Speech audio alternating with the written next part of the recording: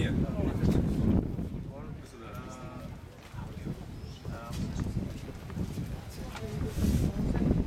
vicino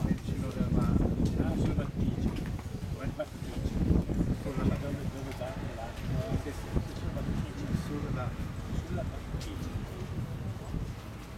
Perché ha dietro?